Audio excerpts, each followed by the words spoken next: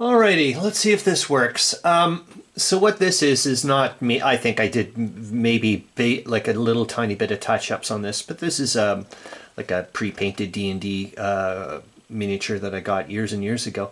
Uh, what I'm doing though, what I want to show you, I'll try to zoom out a little bit. I just wanted to, uh, yeah, I've got to remember this thing's amazing.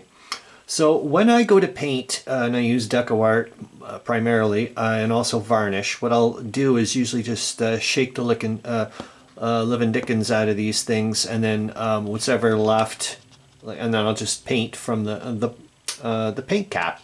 So you can see what happens over time with the varnish. It starts to dry, and it does some weird things. So what I've done before, I used to just you know. Um, pick it apart and throw it away. And then uh, I was like, hey, wait a minute, I'm going to use this. And I used it for a diorama years ago for an alien. It actually came out really well, like a real egg shell. And um, I, will see if I can find a picture of it. it. it. turned out really, really well. I was really impressed.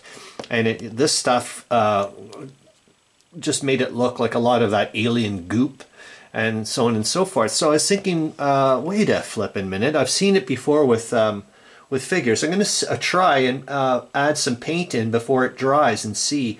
But you can see what I mean. If it, uh, I just wanted to kind of throw. I don't know if this is like a, a, a common tip. Uh, you know, everybody does this, and it's like, well, this is pretty common knowledge, Chris, or whatever. But I thought, you know, I know that like lots of times people would like to do some funky stuff, maybe. And the thing is, you don't have to have it on forever.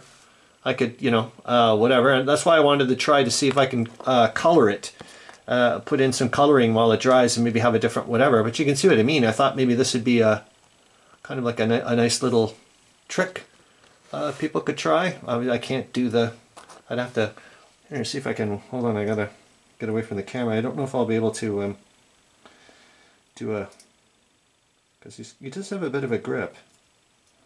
I think I'm just trying to be a bit too, uh, and it, it could be too top heavy too.